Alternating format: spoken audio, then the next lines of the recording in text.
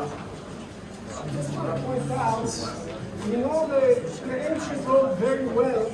It was originally 30 meters wide in the southern part, but from this point, it becomes narrower, right? It becomes 8 meters wide. We don't see the full width now, of course we cannot. But if you take a note, it had pavement or lining on the side of the road. This was to, uh, for water flows come into the middle if it rains. but suddenly here, this curb is not existing. And what our archaeologists believe is that this was a piazza. This was a huge, like, uh, uh, uh like, uh, yeah. Plaza. Uh, a plaza? A plaza. And there were stores on each side that people came and they only like, get to the top and then, you know, have a meal or do something. But so now we're only beginning to read, to discover the full extent of what this world is about.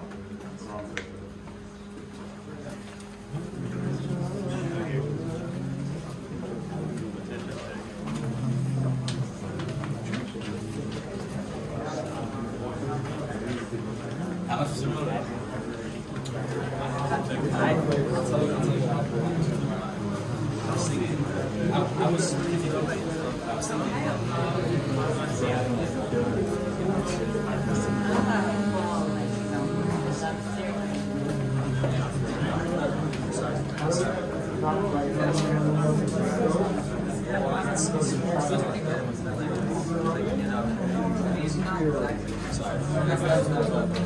Not like actually that was, that was, that was nice.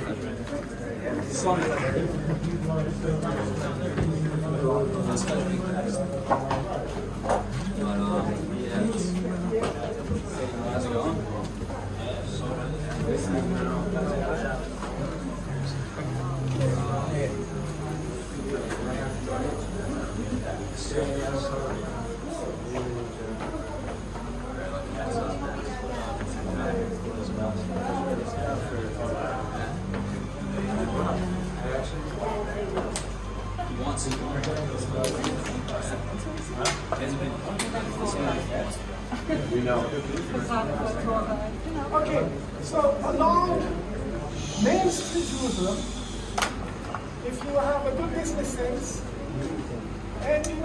you're going to be drawing hundreds of thousands of people.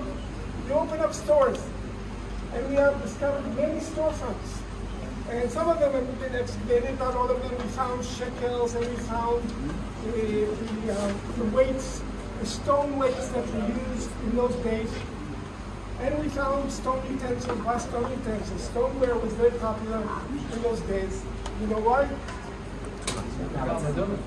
People in these in those days were very sensitive to Kohanim, of course, but even regular people would eat their chulin, they would eat their unholy bread, But Now, truly, in the Ragil, uh, the Talmud tells us that uh, everyone was considered a chaver.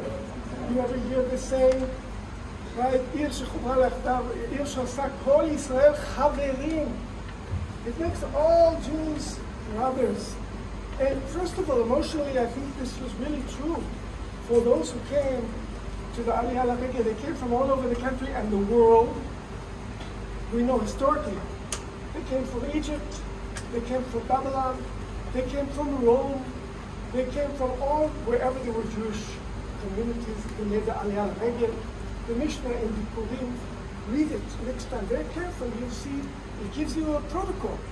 How they went about to do this, how they were gathering, there were different uh, uh, uh, capital cities throughout the country, and would sleep outside in their sleeping bags, and there was a special person appointed to wake everyone up in the morning, early. And they would make their way up to Jerusalem. It took them quite a while. It was quite a trip, but it was an experience. And then they arrived here. And this road brought them together. Suddenly they meet. They didn't always know the language of the other Jew, And they didn't always know his minhagim, right? But they came together as one. Now the problem was, not everybody was as strict in observance as the other. And you know, you have to eat. But how can you eat? Because he's not, his kashrus is not like my kashrus. But our rabbis had a tremendous vision in those days. The Am Haaretz, who generally was not, he did not keep very well, and not well enough. The Tumot ah, yes, this is a kosher, it's not kosher. Or also the, the Tumah yes, he was not that observant of it. The rabbi said, on the regel, everyone is a chaver. A chaver is the exalted status of those from people who were very observant, and were very particular about their observance. But the rabbi said, on again. we all eat together. We're all one. There are no more madaps this, madaps that. Everyone eats the same. And they draw people together. And this is how it works. And I don't know, it's from this store, trout, whoever bought the trophies By the way, there's a mikveh in one of them, so I don't know what he was selling, but all kinds of different things. And, people would be able to come and partake and eat and drink and be merry here as they came to Jerusalem. Um, and as we walk up, I will point out now to see to the left. You can see, a, oh,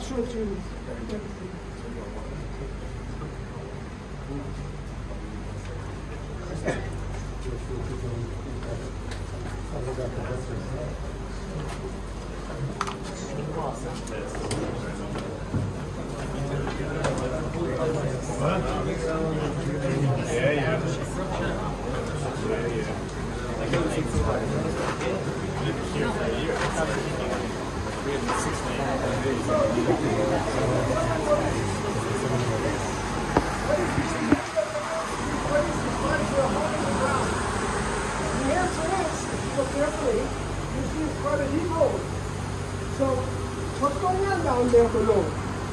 And the answer is, it's the drainage canal, which we saw a little at the beginning, yes?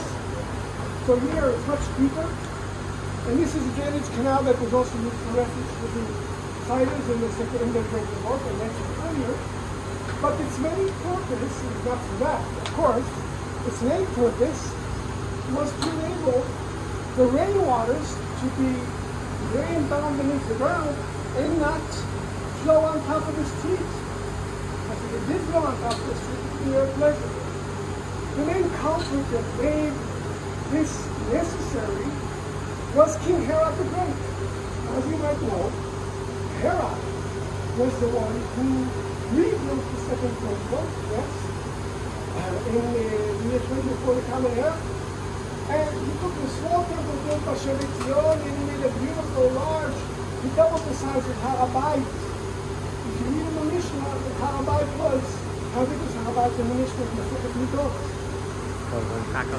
by 500, but if you look at Har HaBayit today, double the size. reflects the herodian temple now, whereas Haram doubled. Now what he did was, in doubling the size, he cut off the Karoti Valley, which was the natural drainage of the city. All the water's getting out. The up in, sink the city homes. So what he did was dug beautiful drainage canal. As I mentioned earlier, you can come back one day and walk through it. It's an experience, a little strenuous, but it's an experience. In fact, you can go down right here and walk through it all the way up to the coastline. It takes you to the coastline. So if it's really hot one day, and you don't want to go above ground, you can go below ground. And you can take that view. I stopped here purposely because Вопросов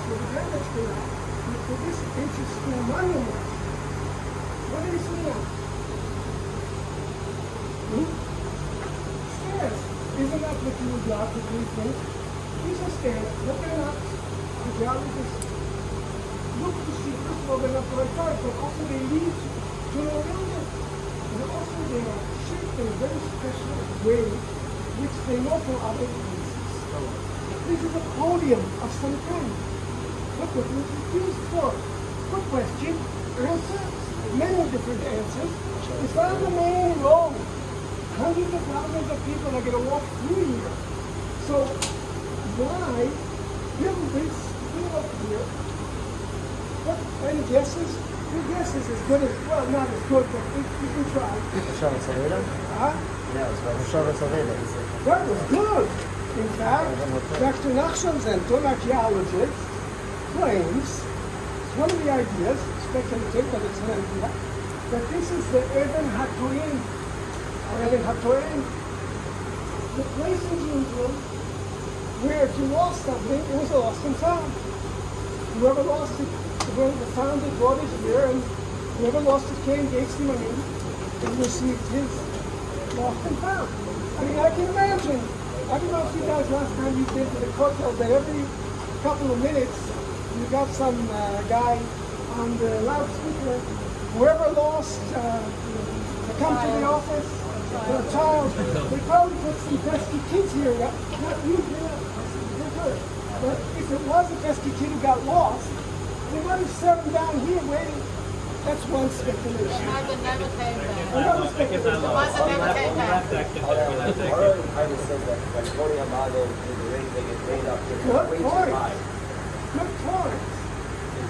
too high for Ed's murder list.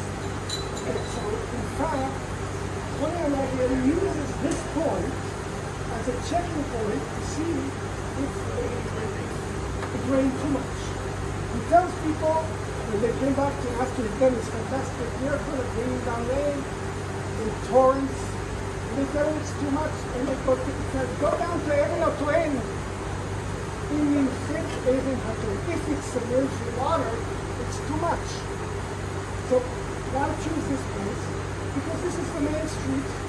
And all the water, if it's too much, it won't go down to the, you know what happens when it rains too much? It doesn't have time to go into the drainage canal and it floods the streets.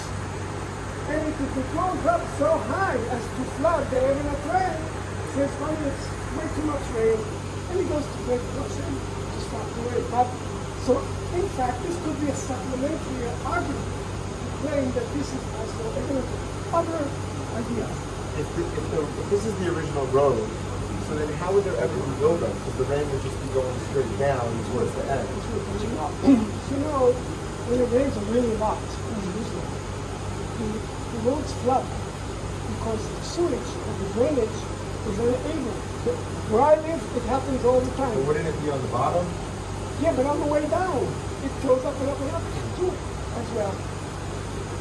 Also, another idea that was before, that perhaps, and this makes a lot of sense, so many people are coming, we have at the end of the second world war the Roman procurators they are evil Roman uh, rulers who want taxes and put out the trees. Perhaps this is where they put the um, the, uh, the town The town crier announcements. You didn't pay your income tax. Whoever doesn't pay it by this and these dates is dead. Perhaps those people have a And if I mentioned there, another theory is this in fact was used as a flogging post or perhaps even as a place for a sword. To hang people on the sword. I don't have many cross. What's it called? To uh, crucify. We know that yes, the Romans from time to time they crucified a lot of people. Not just it looks. But also they changed. they, they crucified. They crucified many, many Jews for different reasons. And perhaps Namani or Ubi or If they wanted to make an example of someone. This is what Dr. Al Milan claims, and he brings different show showing different diagrams even for the degrees. But always a circulation but the, the great cities, which for some reason on the main street we have this. Okay.